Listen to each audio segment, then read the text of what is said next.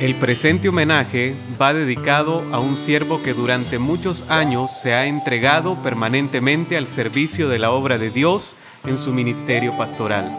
Es por ello que hoy destacamos a través de este documental parte de su vida en pro del Evangelio. Bueno, agradecer al Señor por esta oportunidad y al hermano Henry que me permite dar testimonio de cómo comencé en la vida cristiana. Ahí por el 85 eh, viajaba a La Victoria, La Chorrera, a cortar café de Don Porfirio. Y la hermana Chon, una sierva del Señor, muy linda, ella hacía culto con los trabajadores. Y aún yo, sin haber aceptado al Señor, ella me daba la oportunidad de leer la Biblia, leer algunos pasajes. Y fue así como comencé a conocer lo que es la palabra del Señor. Y ya como al 86, 87, el hermano Cantalito ya me presentaba el Evangelio. Y fue así como en el 91, un 17 de junio, ya recibí al Señor con el hermano Cantalicio como único y suficiente Salvador. Desde entonces he estado congregándome y hasta el día de hoy, gracias a Dios, me ha guardado en la vida cristiana. Bueno, en el 1991 conocí a mi Señor en el mes de junio y era pastor el hermano Naúm Contreras y él comenzó a discipularme. Y fue así como comencé a servir al Señor de diácono. Luego fui electo tesorero y gracias a Dios desde esa fecha hasta el día de hoy he sido el tesorero de la iglesia. Mm. En 1999 se me dio la oportunidad de ir a estudiar.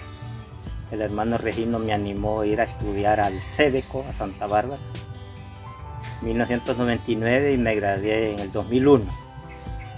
Y fue así como comencé a, predicar la palabra del Señor hasta el día de hoy. Bueno, Dios me ha ayudado mucho a través de su palabra, adquirir conocimiento.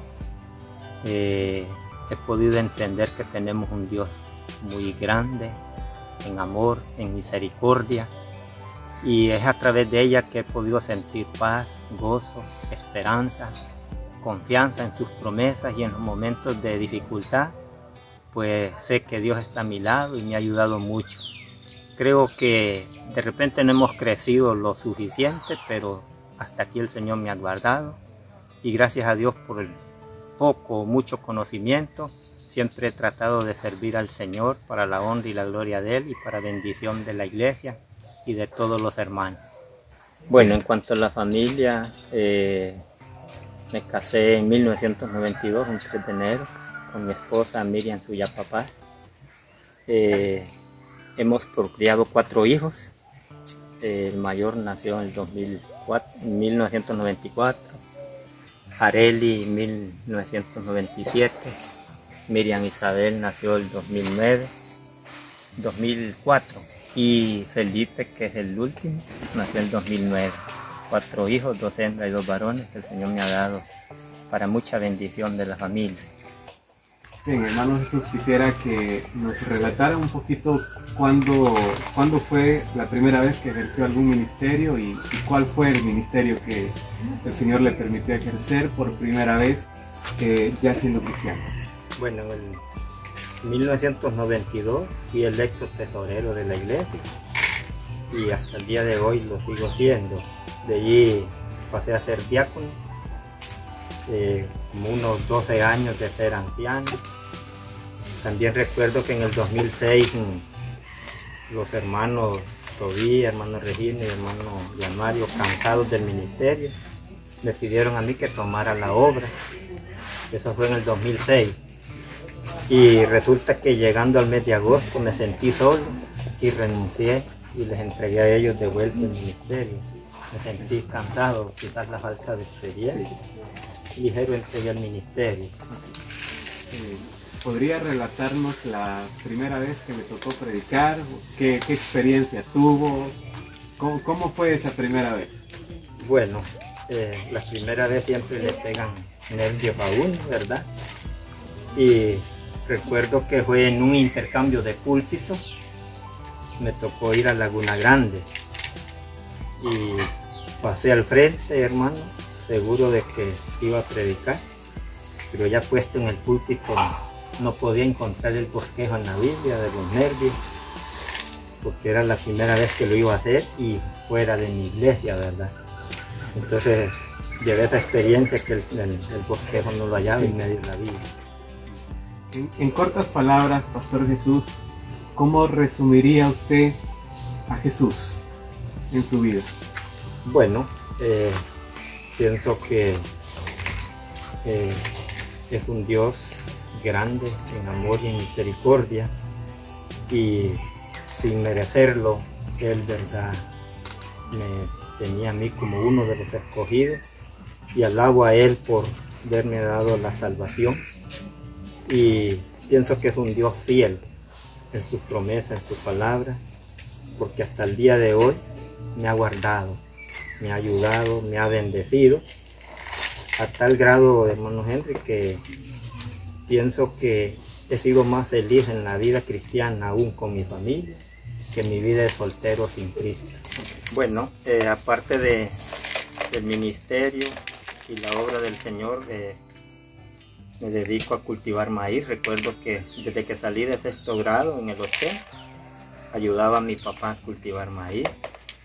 Y ya hoy que ya con la familia, pues sigo haciéndolo. Eh, haciendo milpa, haciendo postreras. Y ahorita estoy desgranando el maíz para que lo ponga mi esposa para, para cocinarlo. Bueno, eh, en cuanto a lo social, hermano Henry, eh, el Señor me ha dado el privilegio de servir unos 20 años en el patronato, cuatro años en la Sociedad de Padres de Familia de la escuela, seis años en una organización de fondo cristiano, cuatro años de presidente de la Junta Administradora de Agua. Así que amo mucho a mi pueblo. Dios me ha dado la oportunidad de contribuir con muchos proyectos para el bien de mi comunidad, para el bien de la familia. Y eso me hace sentirme satisfecho ver mi comunidad desarrollada y que he podido poner mi grano de arena como servidor de la comunidad.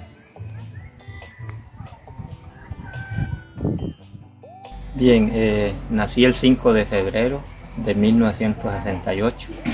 El Señor me ha dado 52 años de vida. Mi padre es Miguel Savillón Fernández. Mi madre Elvira Isabel Paz. Eh, somos ocho hermanos, seis varones y dos hembras. Y gracias a Dios todos estamos vivos. Me siento verdaderamente cristiano, hijo de Dios y 100% samigueleño y me agrada ser honor a mi comunidad.